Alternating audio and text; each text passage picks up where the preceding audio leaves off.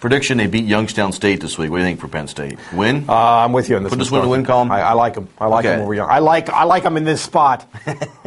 Is this a reloading or a rebuilding season for Penn State? I think it's I think it's more of a rebuilding. Uh, you know, they they've been really good for like five years in a row now, really, and, and uh, I, I think that uh, they have some holes, and they have. Uh, this feels like a it's a, the toughest schedule they've played in the last five or six years for sure, and and and I- it feels like there's a ceiling a little bit on what's possible in this season, and maybe what this season is about is figuring out who the starting quarterback is going to be for 2011. We're going to talk more about that quarterback and our other Penn State segment when we talk Right. offense. This one's more of a defensive one. Uh, what I think is interesting was it is a tough schedule, and I don't know if they're as prepared for that. Some of it's graduation. They lost three tremendous linebackers. One of them left early because he was that good. Bowman left a year early. And the same with the defensive line. They probably thought they still had Odrick again this year, the kid out of Lebanon, and he's gone a little bit early too. And a fantastic player. How do they replace these guys? Who's stepping in?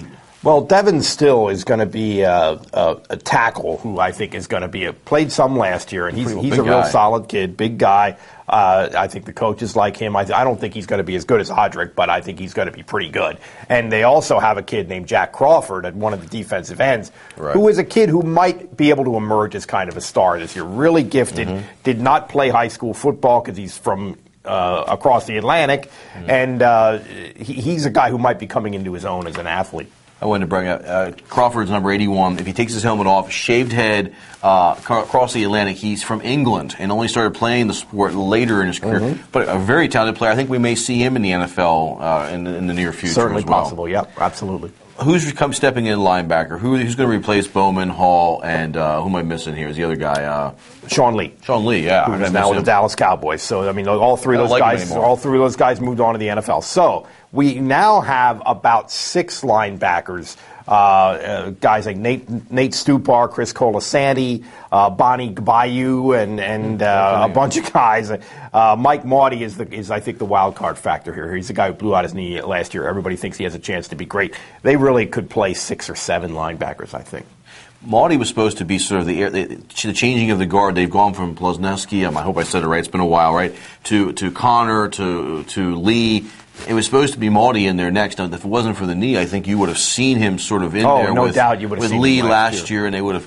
But then the funny thing was Hull replaced Mauti, and Hull had a great year. It was Yeah, all Big did. Ten. Yeah, you know, one made one of the squads. Not not as much of a not as much of a pass coverage guy Right, though. right. I mean, I mean, I think Mauti would have been just for his athleticism would have been a little better in that role. All right, defensive back, and we can talk a little bit more about this guy on the offensive side too.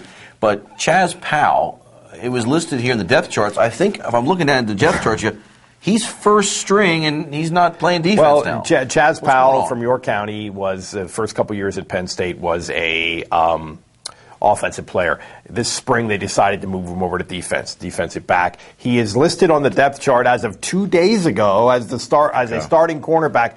But in the Joe Paterno press conference that I just came from, the telephone press conference, Joe sort of casually announced that uh, Chaz is no longer on defense. He's Oh, back to way. offense again. So, uh, I, you know, I, I think uh, as a reaction to some injuries and things.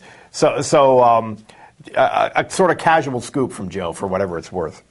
We've got some good guys. We got some good athletes out there on the defensive side. I think they're going to be fun to watch. But it's going to be a lot more shuffling of guys early on in the year. isn't I it? think so, and, and maybe throughout the year. I think they're going to play a lot of people at linebacker. They may play uh, a lot of people in the secondary too. Uh, I, I think Penn State's going to be okay in this area. It's it's just it's a little bit more fluid than it's been the last couple years.